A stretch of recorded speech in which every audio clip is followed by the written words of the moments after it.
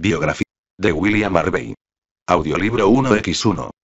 Folkestone, Inglaterra, 1578, Londres, id. 1657, médico y fédico y fisiólogo inglés que descubrió el funcionamiento del sistema circulatorio.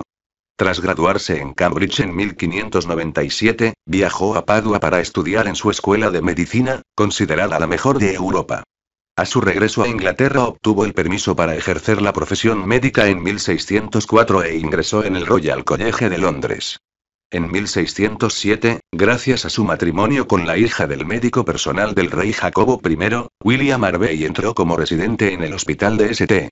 Bartolomeu, donde desarrollaría la mayor parte de su carrera profesional y científica. William Harvey en aquellos años, la teoría ortodoxa sobre la circulación sanguínea, heredada de Aristóteles y certificada por la entonces incuestionable autoridad de Galeno, comprendía un sistema arterial y otro venoso cuyo movimiento venía dado por la contracción de las paredes de dichos conductos. La sangre arterial se mezclaría con aire en la parte izquierda del corazón y, mediante unos orificios en la partición de dicho órgano, se uniría a la sangre venosa, cuyo origen situaban en el hígado.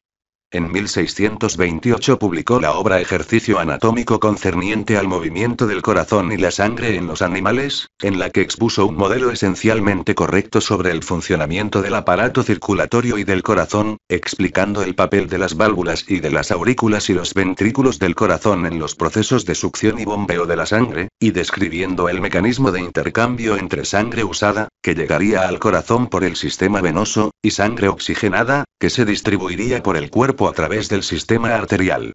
Únicamente olvidó mencionar el papel de los capilares, que, por otra parte, no eran observables mediante los instrumentos ópticos de la época. La obra se hizo famosa en toda Europa, aunque suscitó una fuerte polémica, de la que su autor permaneció siempre al margen.